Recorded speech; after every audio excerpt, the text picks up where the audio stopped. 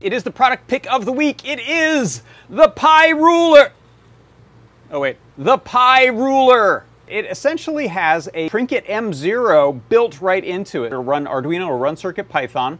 And beyond just being a regular trinket, it actually has four of the pins that are normally not broken out on the trinket running to these four capacitive touchpads as well as four bonus LEDs. You can see here on these capacitive touch pads we have some suggested uses. This is a way to set up a little special keyboard that's really purpose built for your engineering writing needs. Ohm character, the omega. We have the mu there for micro thingies, and we have pi.